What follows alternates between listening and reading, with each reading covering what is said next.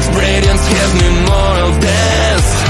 I'm out of control, about to blow, and I've been caught in the undertow. So toxic, but I can't get enough. You firing me, firing me.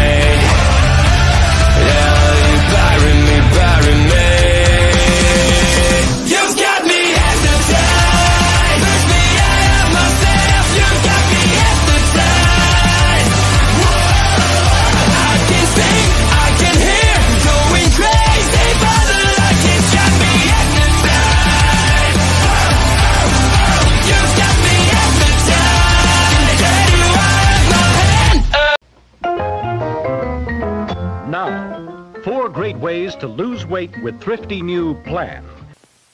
Is there water in your hairspray? There shouldn't be. Water takes the shape out of your hairdo. You need the water-free hairspray. Self-styling Adorn. Adorn's water-free formula puts shape into your hair and keeps it there.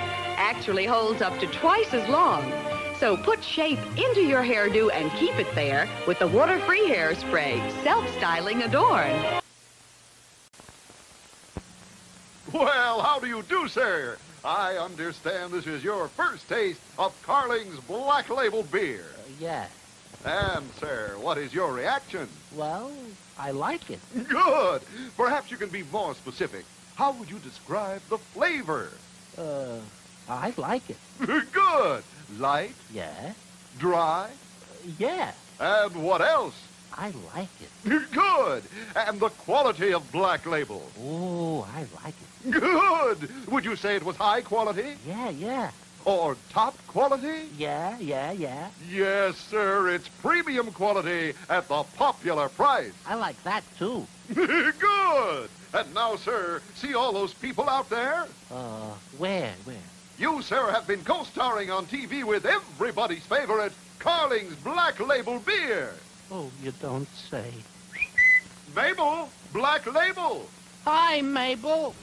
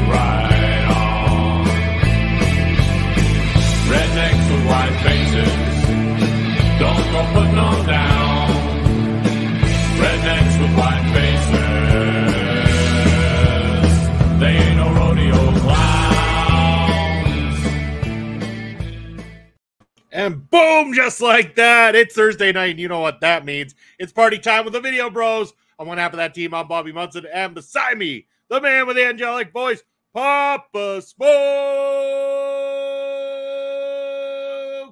Papa Smokes. Happy Thursday, brother. How are you doing? Happy Thursday to you, Munson. I'm doing great, and I'm totally excited to be here for another episode of Ring Respect Radio, and especially since this is our next through the territories. Whoa, I'm pumped about this. Oh, so very so, so Papa Smokes. This has been a absolutely amazing series here. One of the most successful series that we've had here on Ring Respect Radio. I'm glad that there's been this high level of interest into the history of professional wrestling. It's not only a learning experience for the both of us, but also hopefully a learning experience for some of the viewers out there as well too. Thank you for all of you who tune in, whether it's here on OLE or on the Video Bros Network. We appreciate the subscribes, giving us a thumbs up, notification bell, and leaving comments. If you're here live in the chat, comment live with us, talk to us. If you are watching on replay, make sure to get those comments in, and we will get back to you as well too. Always love talk chat about some professional wrestling. Uh, we are going to be talking tonight specifically about Central States wrestling out of Kansas City, Pop Smokes. But first, before we do that, I know maybe not a lot of people got to see it here in the live live view just yet because uh, people are still rolling in. But that opener there that people are going to see Oh. on the oh. replay and stuff like that. How do you like the new the new intro, Papa Smokes? I absolutely love it, Munson. You did a great, great job of that. It sets the tone for what we're going to talk about, showing some of those old fight cards, showing the ticket stub, showing some clips from the old Memorial Auditorium and all that. Just absolutely great work, Bob. Yeah, and I'm going to be able to keep expanding on it as we go along, especially once we get more guests on the show. As of course, we had, uh, you know, we've only had two guests so far, so a lot of clips to take outside of having the two of us on here. But we will have more guests, I'm sure of it, joining us as we take this trip through the territories. A, a show that we're going to continue on, maybe until well, no, I I was going to say until there's no more territories, but once we get all the way around this world here, Papa Smokes, who's to say we don't have to do our round twos at some of these places? Yeah, absolutely. And and from the from the look of the list we made, the rough list, there there's it's going to be going for a while. We got uh, probably two more years before we have to yeah. repeat anything. That's true. That's true. And again, if these keep being that much that popular, maybe we'll have to start throwing a few extras in every once in a while just to uh, give the people what they're what they're asking for anyway. Yeah, very cool. And you talked about people, viewers being able to learn from the, this series and us being able to learn. This was a particular episode in which I learned a lot doing the research for this. I've obviously watched a number of matches from Central States Wrestling in Kansas City and St. Louis in the past, but I didn't really know a whole ton about the entire history of this territory. So a lot of this was new ground for me too, and a lot of fun looking into. Wow, I had no idea it was such a vibrant territory uh, and promotion at that time. Oh, huge! And again, like as we get into this too, again, um, Bob Geigel, who's you know, the big central booker in terms of this territory and stuff like that, not the one who originally initiated the company itself, but eventually became the well-known booker of the territory.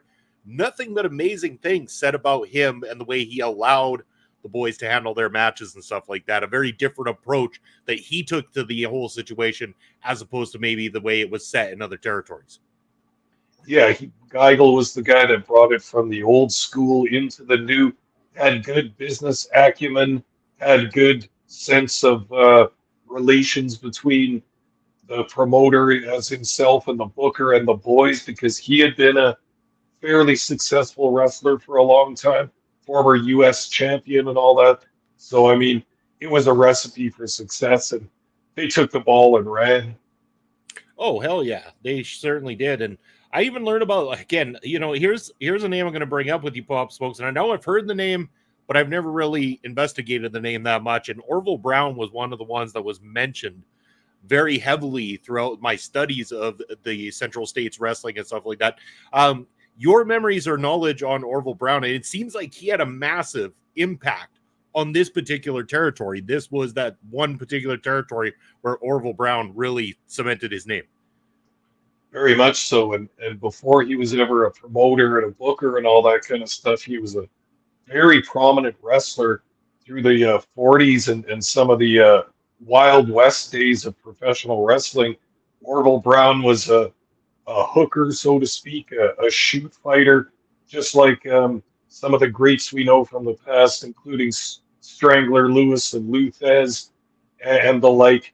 Uh, Brown, a massive superstar in wrestling, a world champ several times over, and uh, one of the guys that, you know, a, a lot of the research for this episode reminded me of uh, Stampede wrestling. In a way, it's a it's a territory that's set far away from most of the major metropolitan centers. It doesn't have a giant population to draw from, but they had a Orville Brown who was a, a bona fide classic wrestler, very popular wrestler, very well known and very well respected. He started up his new thing. Well, it had existed in certain forms before him, but he was the one that really laid the groundwork to getting a, a thriving promotion going in the middle of the Midwest there, um, running in Kansas City, Kansas, and also in Missouri, and also in Iowa, and uh, and really just branched out that promotion to run four or five major cities and a couple of small towns, along with TV each week. And that, that was the early days in the early 50s of television. It made all the difference in promoting wrestling. Yeah, it really did. Uh, and we're saying hello right now to our good friend BDJ Yeah. joining us on the house, saying, What up, boys? What up, BDJ? Thanks for joining us, brother. Appreciate you always checking out Ring Respect Radio and always being there, supporting what we do, and just being an overall great dude. Um, but yeah, going back to what you're saying here, Pop Smokes, um, just absolutely amazing the uh the things that were done and like the comparisons you make to Stampede Wrestling too really shines through. Again, it's you know, it was big in its own right, but again, uh, away from like what you said, the major metropolitan centers and stuff like that.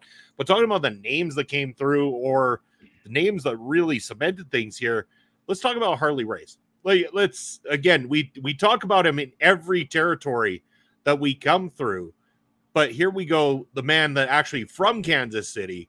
And a man who went on to really kind of put Kansas City and Central States wrestling on the map in so many big ways. Harley Race, maybe one of the greatest of all time. I I would like to know, especially from yourself, where you rank somebody the likes of Harley Race in terms of all time professional wrestling.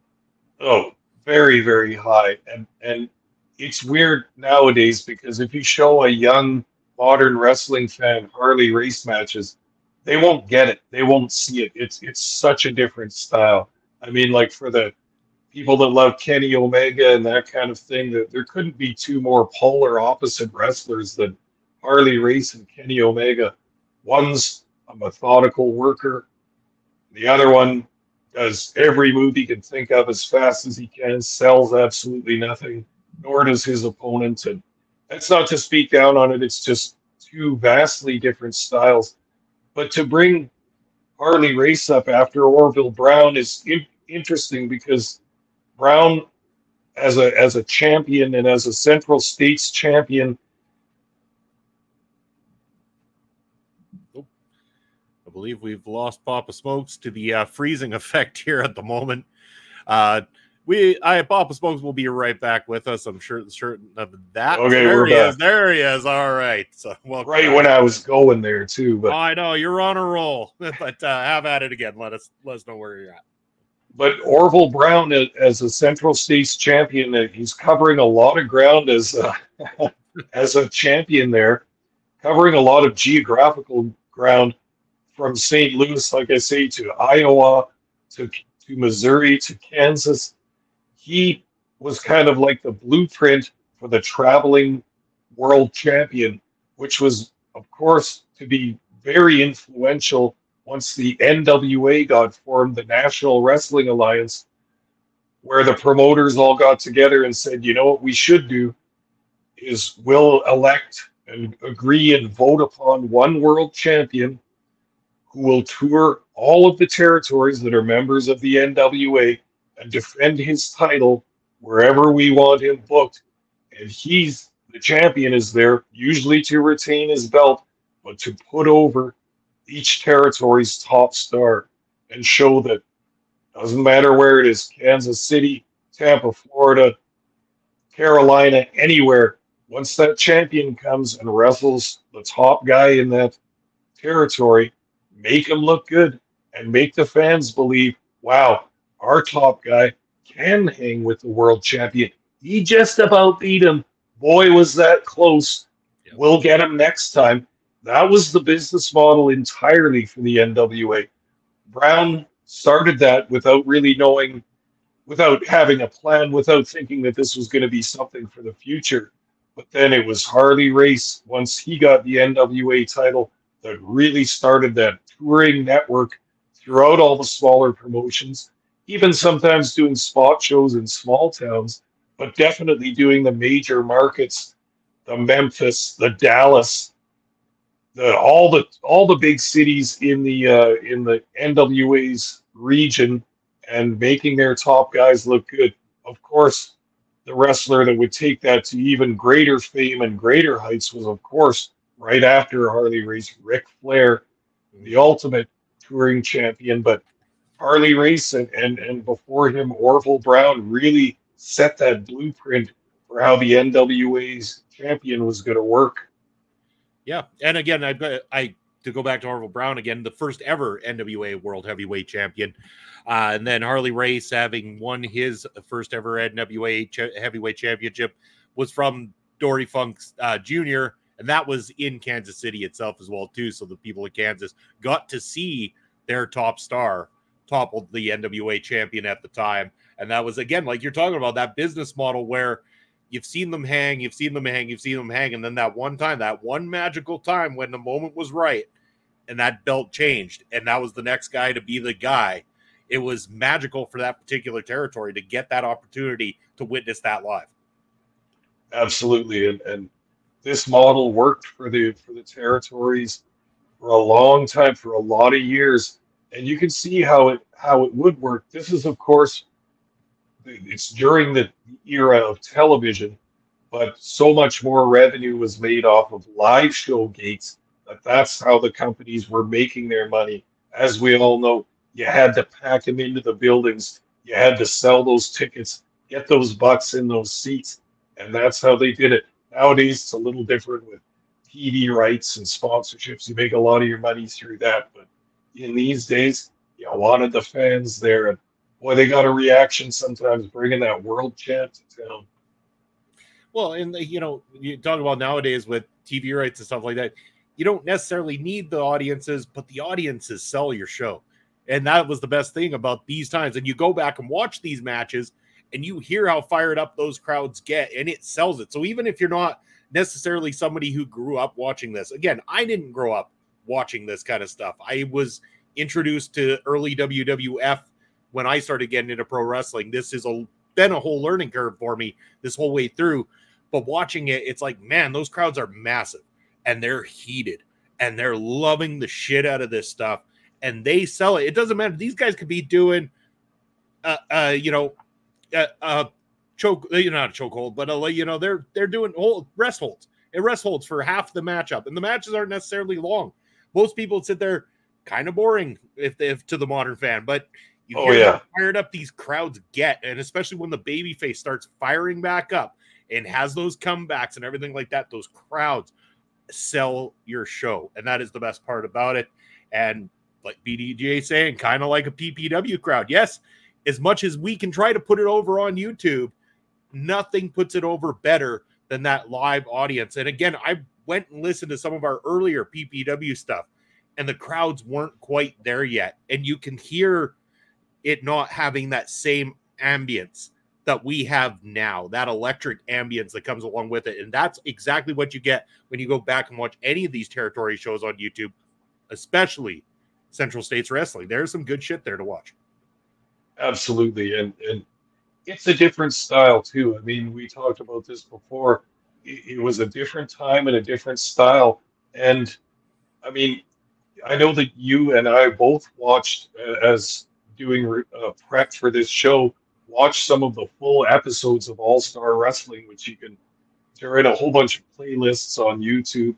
What a good time that is! What a good sense of the product they were putting out you can get by watching the whole show instead of just separate matches.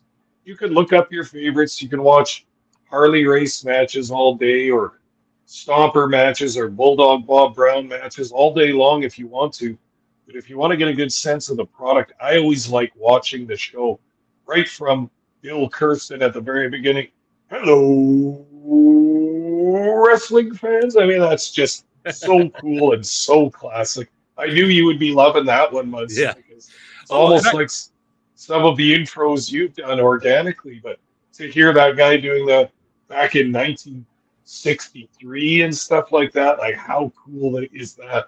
Oh, it's fantastic. I love it. And I've even got in my notes here to talk about him as well, too, because Yeah. in research, I mean, there's this whole documentary that I watched about the company, and he's on there talking about how he was rejected the opportunity to be the the ring announcer at first. He was told that no, you don't have what it takes. You're not the right guy. Stuff like that. Go away, kind of thing.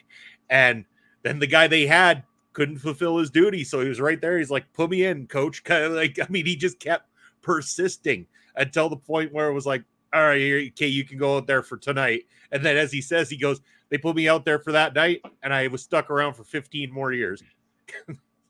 Yeah, yeah. And didn't you find the commentary to be quite good on, on Central States Yeah. Wrestling? Oh, all yeah. those matches I watched, Kersten is excellent. He sounds fresh all the time. He's got an excellent vocabulary. He keeps it very serious. He's not quite as serious as Ed Whalen, who is deathly serious sometimes.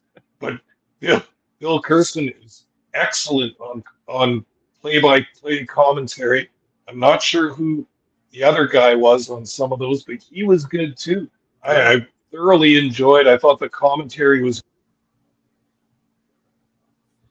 Oh, I think we've lost sure- your. Oh, we lost your audio for a second there, up Papa Smokes. Oh, am I back on? No, you're back on now. Yeah, we just lost you for a Okay, second. good. I think my uh, earbuds are cutting out here too, but we'll deal with that in a second. Uh, Yeah. I, I just I was inspired to listen to a whole bunch of this commentary because those guys were really good, and and you and I can learn something from pros that came over from other sports and other forms of broadcasting and just killed it in wrestling. Oh, for sure. And I, I'm not going to lie to you. And doing all the research that we've done through this whole series uh, has me listening to these commentators from these different territories. And I say, like, every time we listen to more people, I draw from things I hear and get inspired by things I hear. Not that you're necessarily stealing or anything like you're paying homage to the greats that paved the way. They know how to do it best. They did do it best. And it doesn't hurt to learn from and adapt what they've done into your own kind of style sort of thing. Very much so, and even just the there's a there's a rhythm and a cadence to to commentary that it took me a while to to get into the hang of doing. Uh, just like we were talking about before, when we talked to Rich Fokini, he a, a great wrestling commentator. He one of the things he taught us was that uh, there's a rhythm to it, and you can get into the rhythm. It, it doesn't work for every single match, but there's a whole cadence to it, and you can just build it and build it and build it, and then there are big moments. Boom! It sounds good. You give it some energy. You give it a little extra oomph, and that's the way it's done. And and uh, Kersten was someone that I could just totally listen to all day long and and get some, some little nuggets of knowledge from. Oh yeah, and I mean, I'm as soon as I turn on, like sometimes I'll turn on some of these shows and I'll watch one or you know a few matches to start, come back to it a day later. So I found myself, I sat down the one night, I turned on one, and I just kept watching, and I watched a lot of them in a row, and a lot of that had to do not only with the quality of the actual wrestling, but also that commentary team and just listening to them talk. And I'm like, I'm I'm enthralled in this. I am glued into this. I'm loving every bit of it. This this has been to me has been the most surprising of all the ones. I I knew what we were getting into with most of the ones to this point. This one I didn't realize how much I was going to love Central States wrestling. Yeah, same thing here. I, I there there are some in the wrestling biz that, that call it kind of a so-so territory, or it was was this and it was that, and it some big stars didn't go there because it didn't pay out quite e- enough. I don't know. I, I've I've heard little minor criticisms like that throughout the years, but once I sat down and watched some of these entirety with that awesome commentary and all that, yeah, I'm I'm a fan for good. I love it. Oh, me too. Yeah, absolutely do. again, I wanted to go across some of the names that came through the territory, talking about some of the uh, bigger names there, Papa Smokes, and then uh, you can elaborate on whichever ones you want to focus on or anything like that. But these are just Yep. again scratching the surface because this would have taken forever to write down every damn name that ever graced this territory. Yeah. Yeah. Talking about some of the big ones, we had the Cuban Assassin, the Von Erichs, Dick the Bruiser, Bulldog Bob Brown, uh, Afa, Sika, Giant Baba, Bob Backlund, Ronnie Garvin, uh, Bart and Brad uh, Batten, uh, Nick Bockwinkel, Jerry and Jack and Jerry Brisco, uh, Haystacks Calhoun, Billy Graham, Mike and Ted DiBiase, uh, Cowboy Bob Ellis, Buddy Landell, Jimmy Valiant, the Sheik, uh, and we're talking about the OG Sheik there as well. so Yeah. uh, Terry Funk, Dory Funk Jr., Dory Funk, uh, Greg and Vern Gagne, uh, Bob Geigel, of course, the Mongolian Stomper, which again, I'm familiar with Mongolian Stomper, Calgary Stampede. Did not under, know that Archie Gouldie, er, he was making his way down to this Oh, yeah. territory, which awesome. Alfred Hayes, as many of us in my age bracket grew up with Lord Alfred Hayes, the uh, Yep. commentary guy in WWF. Lord Alfred Hayes was part of this one. Uh, Gene Kiniski, uh, Roger Kirby, Ernie Ladd, Dick Murdoch, Bob Orton Sr. and Jr., and even Andre the Giant graced his presence in this particular territory as well, too. So, I mean, and like I said, scratching the surface for the names that have been here. yeah, like basically everybody, you know, and that that's what's so cool about it is that this is a like we talk about in the middle of the Midwest, it's kind of geographically isolated to a certain extent just by the distance between uh, us. Wrestlers back in those days filling up cars and doing the tours, trying to make some money. You don't want those long drives because that ends up costing you more money. It takes more money from what your payout was going to be to do all that traveling. Don't think they had uh, uh, traveling expenses so much back then, unless you were a big star. But but um, they started that promotion organically with local stars, Midwest wrestlers, bringing them up, creating something organically from nothing. And then once you got something good built there, plus a good ownership group, such as Orville Brown in the old days, a very respected uh, and former world champion wrestler, and then later Geigel, Pat O'Connor, and Harley Race as owners. Wow, there's a group. Two. They're going to attract a certain level of wrestler. They can get that good talent. They can pay them out what they deserve, and those guys will come all the way out there, do the little St. Louis, Kansas City tour, and and get get a good pay, get a good payout for coming and driving all that way. So I mean, yeah, just stars will beget stars once you start having Harley Race, the Funks, the Briscos, Dusty Rhodes, and, and all the rest of the guys that you just named, which is pretty much all the big stars in wrestling at that time. It's going to attract more, more, more, and more. And not only stars, but you need good job guys as well. That's super, super important to a promotion to get qualified and good journeyman job guys to make your TV look good and to make your stars look even better. Yeah, you bet, Bob Smokes. So, uh, anything else that you want to say currently before, or do you think that this is a good time that we may go and watch a match from our friends over at Central States Wrestling?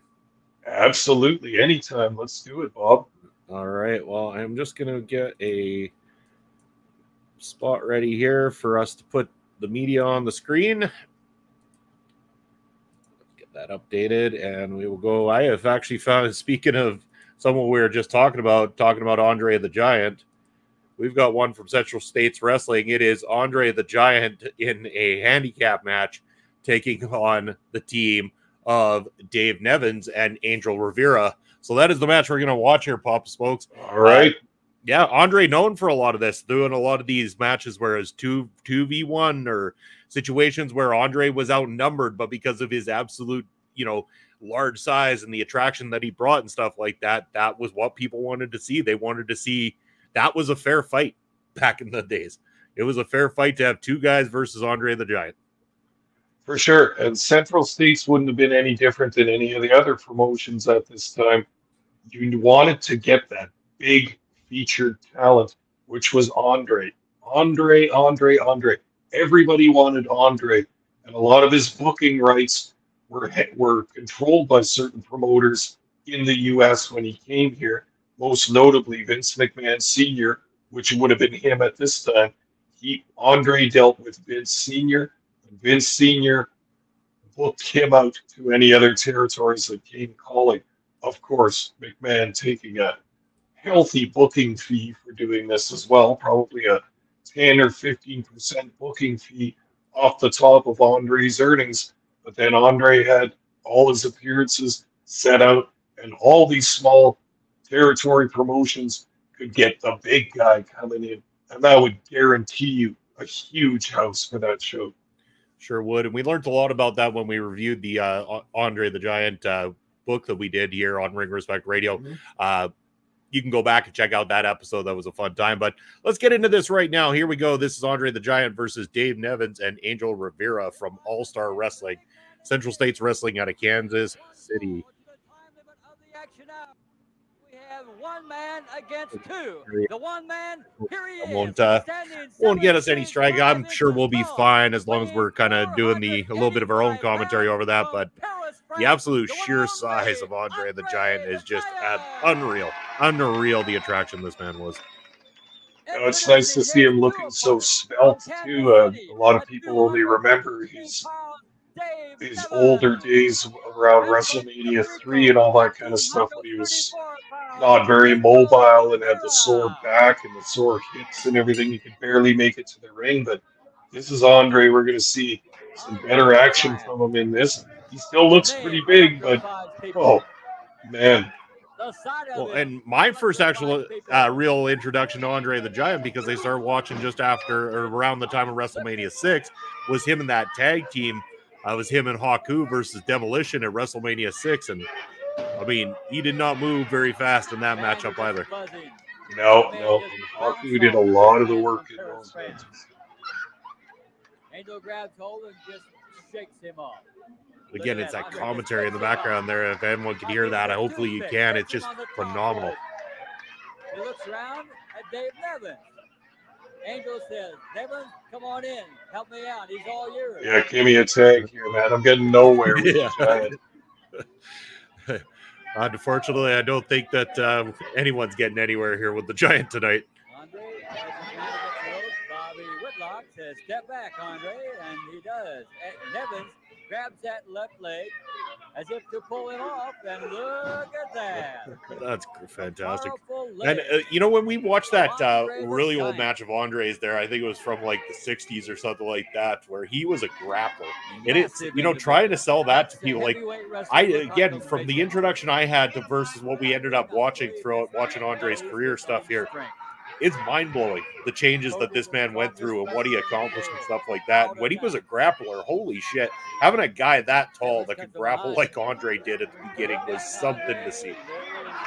Yeah, it was wild because he wasn't that big when he was 18 or when he started wrestling. So they just trained him as a normal wrestler, like it was all flying head scissors and, and holds and leg locks and all that stuff. And we watched him young and handsome and in black and white doing all those all those wrestling moves. It's quite funny, eh? Yeah, a lot of them. But, but I mean, this kind of became the way of his careers later on and stuff, especially against. I mean, we're talking about two guys here. These would be considered job guys in the day, and not to insult what they do. They're doing a perfect job of it. There are a couple of guys getting in there, and they're putting the big man over. Both in the corner. Not at all. Yeah, yeah. Like Neither one can get out. these guys probably got paid Andre says, "All handsomely compared to a lot of the undercard talent on here doing the match with Andre. You got to be careful. Andre wanted everything perfect in his matches. With ease. Got grumpy if uh, guys didn't work the way he wanted them to. So it was an important spot working with Andre. High in Oh, oh Almost to the Jesus! top of the studio. Oh, With a man at eight foot That's tall, puts him fantastic. Against the top Oh, you don't see the atomic drop uh, at all anymore. Like, I mean, it's just a move that's gone by the wayside all of a sudden. that guy doesn't have a spine anymore. Evans And tries the handshake spot. That's great. That was, look at two times, three times. He tries to pick the giant up. Uh, everyone's laughing at that attempt. up in the air. It's Yeah. Oh, and it's brilliant. Another one of those two. I think Bob Backlund must have taught Andre that. Hold on, hold on. One foot explosion to the jaw. In And I'm Oh, here he goes. Going up the other. Goes way up Stack him up, Andre. Boom! Look There he goes. One, two, three. Fantastic. Awesome. Good stuff. And I mean, and that's all you need. That was fun. That was a good wrestling matchup right there. I mean, not like I mean, you're not talking five star wrestling, anything like this. I mean, it was exactly what it needed to be. It was an appearance by Andre the Giant that the crowd loved, and two guys that got paid handsomely to go in there and make the Giant look like a fucking big giant powerhouse. That's exactly it. And this this match was an exhibition match, so to speak. There was no angle, no heat, no feud going on, no nothing like that. Those guys were in there to spotlight how big the giant is and how strong he is. Therefore, the handshake spot, he's crushing the guy's hand, the uh, lifting him up over his head, showing how strong he is. Those atomic drops where he just he lifts those guys up like they're five year old kids, you know, like so easily. That's what the fans will go away from that match thinking like we just saw the giant today and he absolutely cleaned the clock of two guys. He lifted them, he just treated them like they were 80 pounds. And that's that's the spectacle of Andre the Giant. You're not gonna get a, a one hour Broadway or anything like that out of the giant. You show how big he is. That's what people want to see. Well, yeah, and again, like uh, those weren't small boys either, too. You're talking No. about sizable dudes there, but up compared to Andre the Giant, they look like a couple of small. Or and like you said, when he does the big moves like that, he makes them look like they're only 80 pound guys, but they're sure as hell not 80 pound boys by any stretch of the word. No, those are 200 plus pound wrestlers back in the days when you had to be 200 pounds at least to be a wrestler. And uh, yeah, again, just a showcase. It, it's um, the giant comes. You don't you don't really watch him to see his wrestling skill. You want to see him manhandle someone very much smaller than him. And that's you know, again, like he was like you've said about him being picky about who he worked with and how they worked and stuff like that. It's interesting to go back even throughout the book that we read and thing documentaries you can watch where yeah, there was specific people Andre loved working with. There was certain particular wrestlers that he loved. He would have no problem working any match with them any time of the day. And the ones he didn't, the ones he didn't, he made life a living hell if he was in the ring with them. Oh, very much so. And uh, Randy Savage and the Ultimate Warrior were not among those favorites. no, they were not. But believe it, you know, and again, uh, say it like this: the Hart family were always favorable to the Giant. That was one of his favorite groups to work with. Well, until that one ride to the airport, I suppose. well, there's always that. But it's hey, it sounds like, and we learned that on a trip through the territories. Driving in Canada can be a little bit of an issue, as our good friend Rachel Ling told us about the uh, classic story with herself and Owen Hart on the way to a show one night. for sure, hilarious stuff, and, and so fun to get some genuine stories. But uh, uh, while we're talking about uh, physical specimens and uh, and uh, wrestlers that benefit from having a great presentation, what about one of the long standbys for Central States Wrestling, Happy Humphrey? Did you read about him at all, Munson? I did read a little bit about Happy Humphrey, Papa Smokes. the Yes. heaviest wrestler ever. Um, you know, I'm not sure what he actually weighed. His build weight was 802 pounds, which makes him 200 more than Yokozuna ever was. Like, can you imagine the size of this guy? Yeah. And like, yeah, just look at pictures. So it's like, holy shit, man. Like, talk about a big boy. Only six foot one. But yeah, like you said, he was billed at 802 pounds. Happy Humphrey. Looked uh, like it. Yeah. I, I, I don't know if I could even doubt that. I mean, he's a he's a big dude. When you see the pictures with him against and guys at like uh, Haystacks Calhoun, another very very large individual, and he Oh, kind yeah. of makes Haystacks look a little smaller. for sure. And uh, again, this was a this was a wrestler that the fans liked, not because he was doing flying head scissors and and and arm drags and stuff like that, but because holy cow, look at the size of this guy.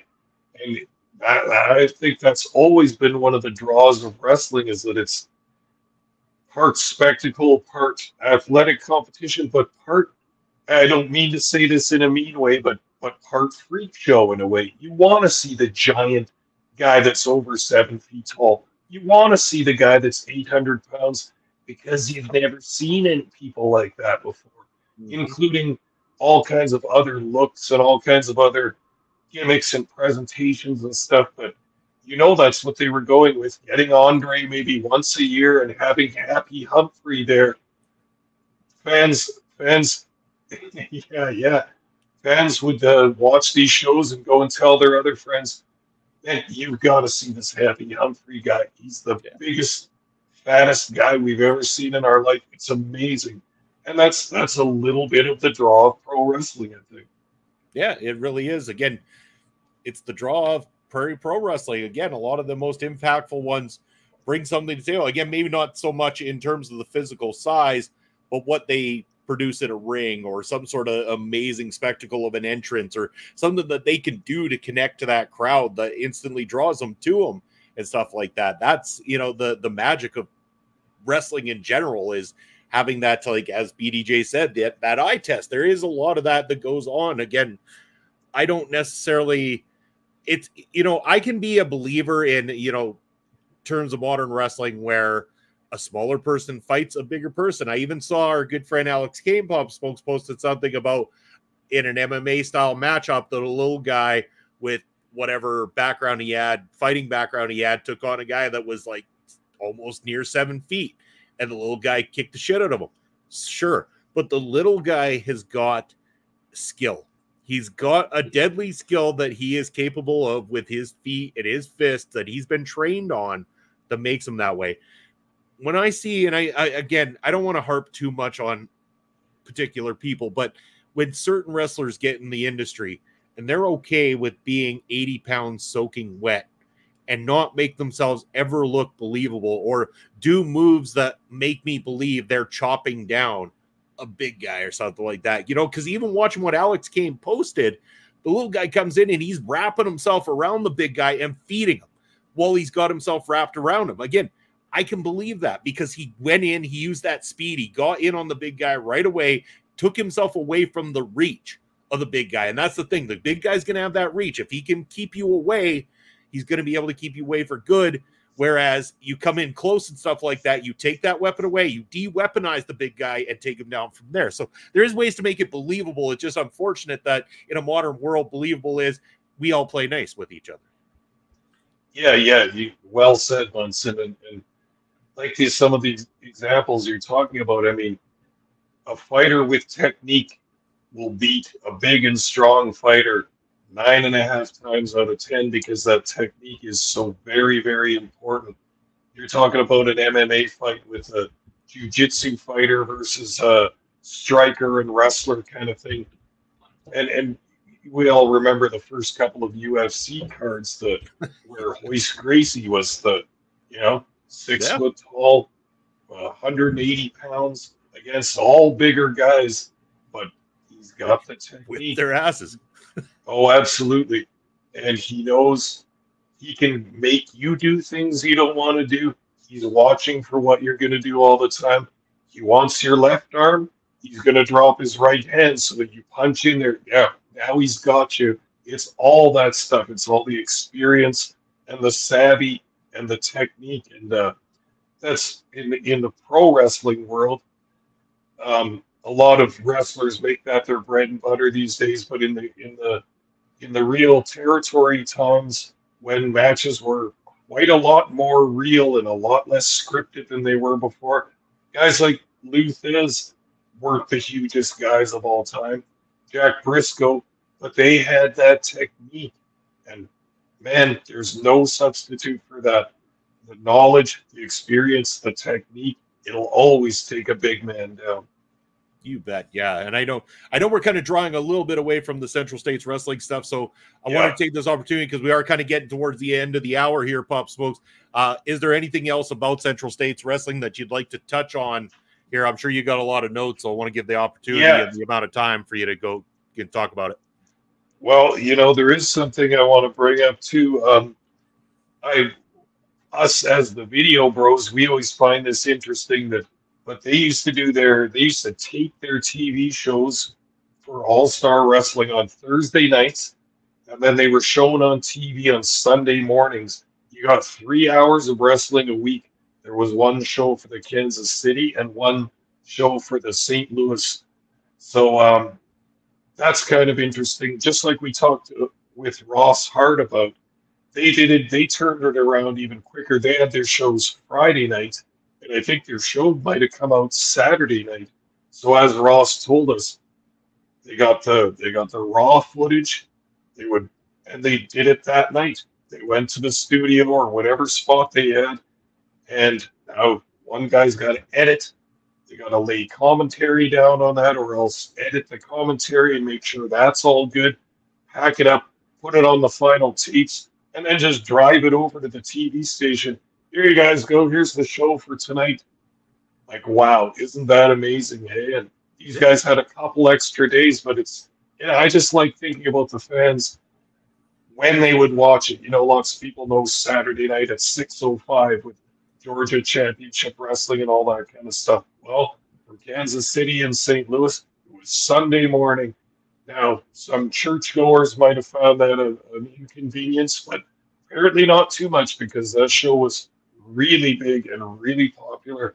One of the uh, the local TV affiliates' bigger shows on that station. Yep. And you know what? It's actually it's funny you brought that up because uh, Ross Hart kind of was the inspiration for the way I turn around PPW matches now. Uh, so just to give a little background on that, so before, you know, I, there's a lot of time between where we are in the YouTube releases versus what's been taped. But we are getting to that point It caught up, and I, I needed a little bit of that fire lit under me. And when I heard Ross talking about that, I'm like, I got to get down to it. And the last two shows, Pop Smokes, I have turned those things around Yeah. like a fiery sob. I I think the fir- the very last set of tapings or whatever, I think I had turned those around that same weekend, and then this most recent set of ones I had done within half a week this time around, and able to you know for anybody who worked the matches that wants their matches ahead of time. So that they could send them for potential bookings and stuff like that, instead of just sending them hard cam footage or one camera where you know they don't get uh you know full on everything. They get the full edit without the commentary uh, pr- prior to it and everything like that and it's been it's been awesome. But it's it's the inspiration i've drawn from the people we have met and talked to and stuff like that that have made me work harder and made me do those things and inspired me to do those things too. And yeah it's it's been great man. It really has Oh, you're a workhorse, Munson, and, and to speak for all of uh, PPW management and the PPW nation, we we got to give you thanks because I don't think everybody even knows the amount of hours you put in to all this, but but I know because you tell me, and and and and uh, I've seen some of your edits and all that, and it's just absolutely fantastic work, and, and you're one of the cornerstones of PPW without question. thank you Pop Smokes. The blast from BJ, the thanks for remembering that one bm for gm bobby munson for general man Someday, Love it. someday, maybe. maybe. Maybe. BDJ, you looking for a cameraman position? No. But unless Papa Smokes has something to say about it, you never know. Maybe, yeah. maybe he wants that spot. Maybe, maybe it could be possible. I never know what could happen in the realm of Prairie Pro Wrestling moving forward. What I can tell you is uh, I had a blast talking about Central States Wrestling. Uh, we do have Prairie Pro Wrestling coming back up here, Papa Smokes, in a very short period of time. Uh, it hasn't been officially announced in terms of the release on social media, so stay tuned. The official announcement will come soon. But yes, Saturday, August the 17th in Saskatoon. We've got more live Prairie Pro Wrestling action coming at the people. I'm so stoked for it. As we, you know, again, it's really cool because we did commentary for the matches that we have, and it's we're halfway through the last set of tapings, the most recent set of tapings. So we're getting to that point where we're a little bit more caught up to date for our fans all over the world to be along with us for this incredible ride. And I'm I'm so pumped because man, we hit August Papa Smokes, and that's it. That's that go home show before the Ring of Horrors, our biggest show of the year, and you know that that's going to be a chaotic night, one hell of a night for everybody.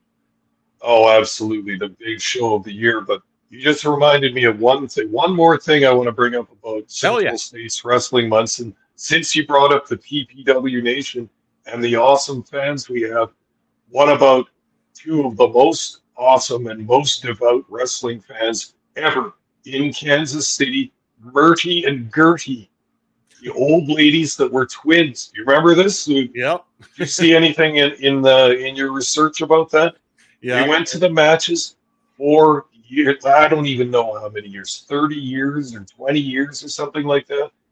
And I remember at the AWA matches when I was a little kid, there was a lady that had been going to the matches there for, again, something ridiculous, like 30 or 40 years. An old lady, and she used to do the same thing as Murdy and Gertie get right into it and then kind of try and interfere in the matches sometimes. I remember she, the lady I'm talking about, used to hate Bobby Heenan so much, and you would see her. She had a crooked back and everything else, but she would walk, and just that purse would come up, and she'd try and swing it by the handle of the purse at Bobby Heenan, and he would kind of hear it behind him, and oh, Jesus, it's her again. This is what Murdy and Gertie reminded me of. And as Harley Race said, they were stick pins, ladies. They had those long needles in their bags, and they would try and get you, wrestlers, the heels, in the butt or in the leg or wherever with those pins. You had to watch out for Murdy and Gertie. They were the most devout fans you could hope for. Oh yeah, and again, I I, I absolutely love that. Not that I Oh, yeah. condone stabbing wrestlers in a modern world, but it's you know we've had shit here, and it's it's quite funny as BDJ. Uh, we have the old man and the water bottle at PPW. we also had the old man and the cane back in the HIW days. We had, yeah, I don't know, BDJ probably. I don't. I'm sure you've heard about it, but there was even something at the most recent PPW show where somebody decided to puff their chest out at good old El Asesino there, and he uh, he got shoved back pretty heavily more than one time that evening. Did he ever? Yeah, and as we said before, be a respectful fan. You can yell, you can jeer, but if you want to puff up or try and touch a heel, it's not a good idea because they can't back down from you. Just don't do it because you're going to get yourself in trouble. BDJ is going to press charges. Please do against El Asesino. Get his ass behind bars. He deserves it. Oh, BDJ got his cap flipped off by a certain wrestler back in the high impact days uh, when things were getting a little heated out in the crowd there. it happens. Hey, anything can happen when yeah, you go to a live pro wrestling show here in Saskatoon. But uh, we are coming to the very end of the program here, Pop Smokes. It's been a delight doing trip through the territories. Looking forward to the next one that Very we get much to so. do. We've got some great shit lined up for you guys. Uh, but in the meantime and in between time, we are going to encourage you, if you're watching live, to stick around for the honor ramble coming up. Auntie Collins is going to be joined by Sam, who's going to be a returning guest talking about Ring of Honor. So go enjoy watching those ladies talk all things ROH. And now watch as I cry just a little bit inside because the show got a lot more costly because Papa Smokes' ticker is right there on the screen. Try not to shed too many tears, Munson. It's one of the it's one of the expenses that we have to do for this show. It's true. So check out Papa Smokes' high money ticker. I can be found at Elon Musk's free speech wonderland known as X. I am at smokes underscore Papa.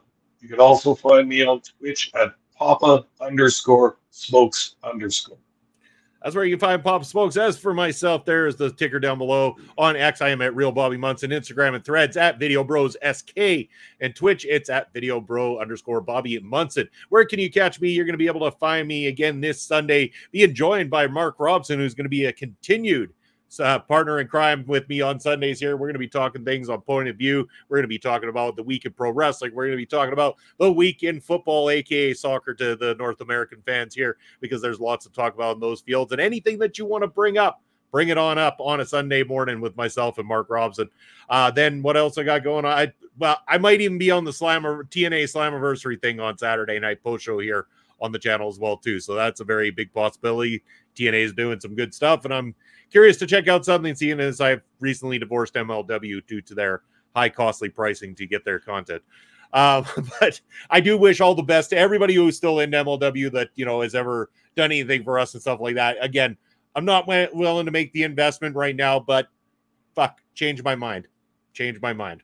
That's what I that's what I asked. So, Yeah, but yes, I mean- yeah. It would look a lot tastier if just the product was better, and, and I'm not sure what happened there, but I think I think that Court will come around again. He's created greatness a couple of times. I think he'll do it again, but uh, till then, we'll just kind of watch from the sidelines, I guess. That's right. Yeah, that's right. Once it gets, uh, once it peaks with the interest of the kind of stuff I'm into a little bit more, I'll be right back there. It won't. It's not a forever divorce. It's a temporary. See you later, kind of thing.